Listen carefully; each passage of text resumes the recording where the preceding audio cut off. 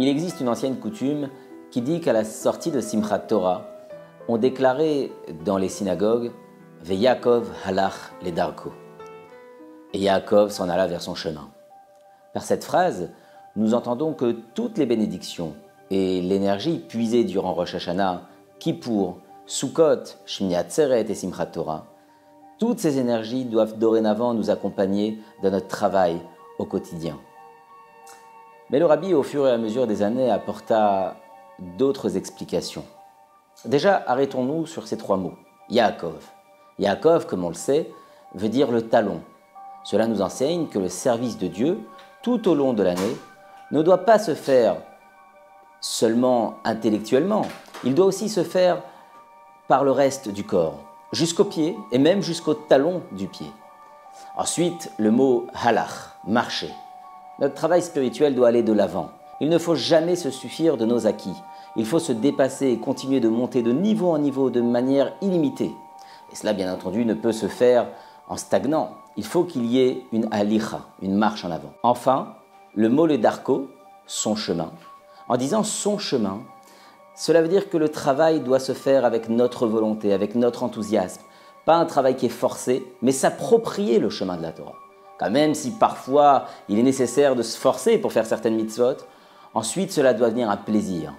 Et c'est sûr qu'après toutes les forces accumulées durant le mois de Tishri, nous pouvons servir Dieu avec plaisir. Autre enseignement de les Darko, c'est qu'il s'agit là non pas du chemin de l'homme, mais du chemin de Dieu. Et cela explique comment le travail spirituel peut atteindre un niveau comme le talon.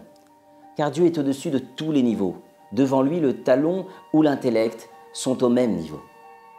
Enfin, sur le nom en soi, le nom Yaakov, Yaakov, c'est le nom qui lui a été donné à sa naissance. Plus tard, il a été nommé Israël. Yaakov, comme nous l'avons dit, représente euh, le talon.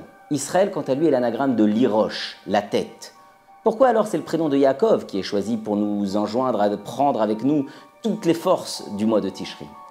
Le rabbi explique qu'au début de sa vie, l'enfant est au niveau du talon. Puis en grandissant, son intellect se développe. Alors il existe dans notre vie des périodes où nous sommes euh, tellement pris par nos préoccupations quotidiennes que nous sommes tous au niveau du talon, Yaakov. À d'autres périodes, nous sommes plus inspirés. Et c'est le Israël qui est en nous, qui, qui rejaillit. Pourtant, nous rappelle le rabbi, chaque juif, même lorsqu'il est au niveau de Yaakov, doit savoir qu'il a une mission et que cette mission, il doit la faire avancer. Allah, dans le chemin du roi, en s'élevant non seulement lui et sa famille, mais aussi tout son entourage. Alors pour conclure, avec un très joli proverbe qui était prêté au Kotzker Rebbe, il disait Quand j'étais plus jeune, je voulais changer le monde. En grandissant, je me suis rendu compte que c'était trop compliqué de changer le monde. Alors j'ai essayé de faire évoluer mon peuple. Puis, là aussi, j'ai constaté que c'était impossible. Alors j'ai essayé de changer les gens de ma ville. Là aussi, ce fut un échec. Alors je me suis tourné vers ma famille. Il dit aujourd'hui, avec l'expérience, je comprends que la seule chose que je puisse changer, c'est moi-même. Et si seulement j'avais commencé par là, j'aurais sûrement pu influencer ma famille, ma ville, mon peuple et le monde.